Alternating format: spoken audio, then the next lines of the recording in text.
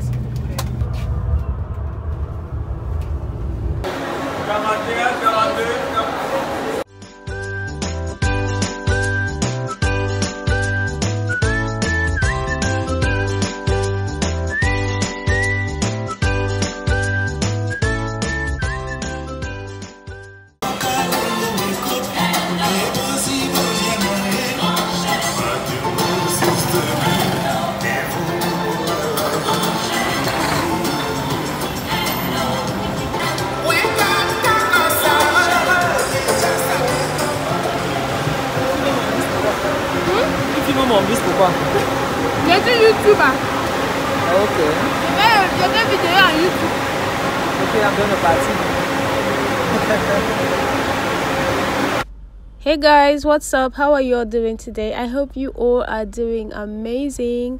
Thank you all so much for always coming back to watch my videos. I really do appreciate. If you're new to this channel, if this is your first time watching any of my videos, you are highly welcome. My name is Irene. Please like this video, subscribe to this channel, leave a comment and let's roll together. And for my other buddies, you already know what's up, you know what to do. Please hit on that subscribe button if you haven't subscribed yet. Share this video with your family and friend. Give it a thumbs up. Leave a comment. Let me know your thought, what you think. So in this video, we will be traveling from Yaoundé to Douala using the Finex VIP transport bus. I hope you enjoy watching this video. Stay tuned and keep watching.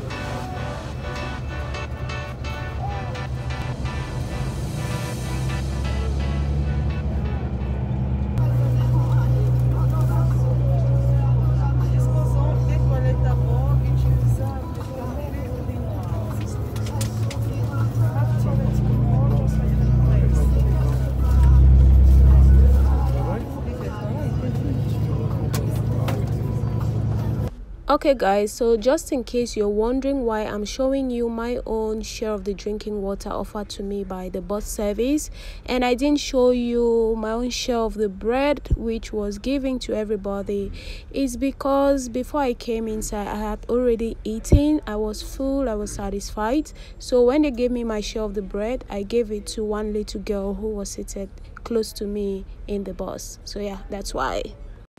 Taking the VIP transport when traveling is actually a choice. I choose it because it is faster and there's not much stop on the road. Also, I do not get to squeeze myself on one seat with other passengers just the way they do it in the regular buses. So you don't have to go for it if you don't want.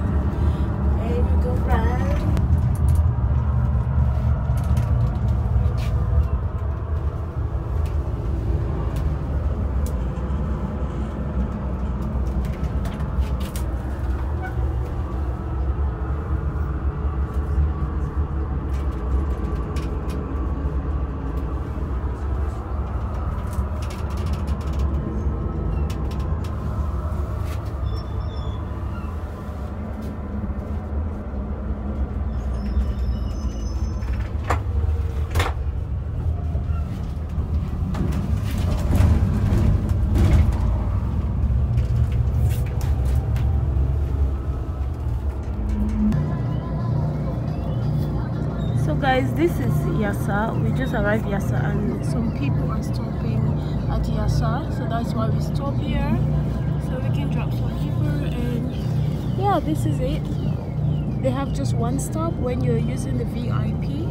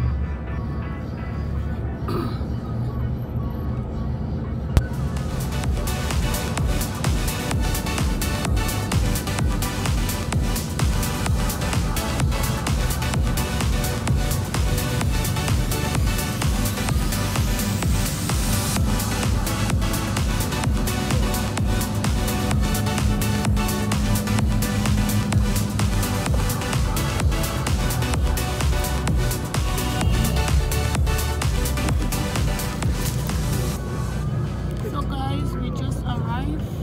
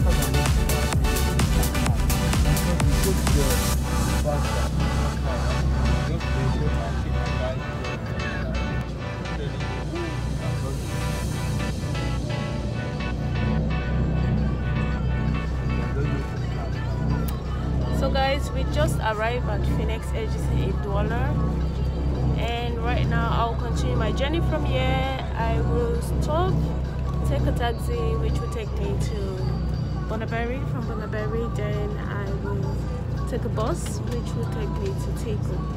So see you guys in a bit.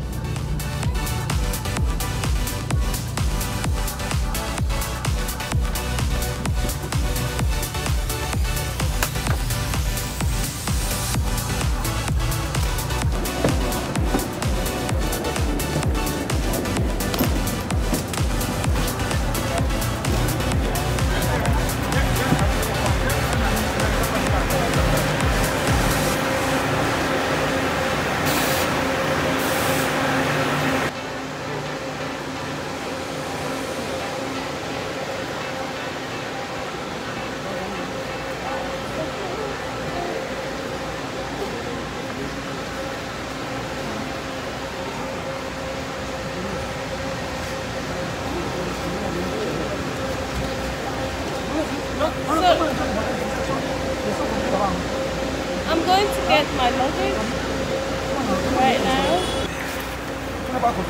Oh, la bête c'est la.